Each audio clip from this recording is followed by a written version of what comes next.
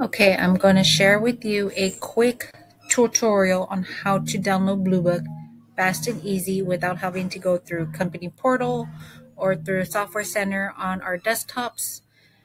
Um, so all you need to do is just turn on any internet browser, either Chrome or Edge. I prefer Edge.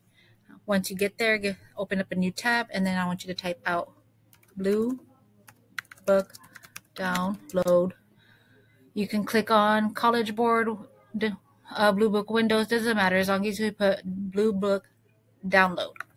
Okay, click, scroll down just a little bit till you get to, you see that first, um, the first selection, which would be download the Blue Book Digital Testing app.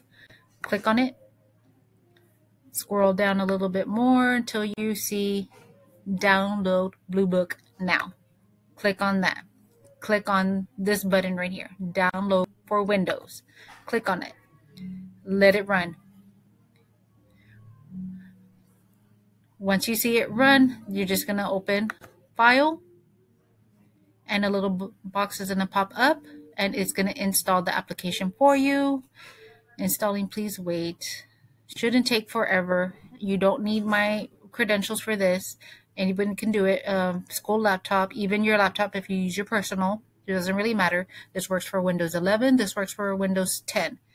It opens up for you and then follow the instructions that your teacher gives you prior to the test and then follow the instructions that you have um, day of the test.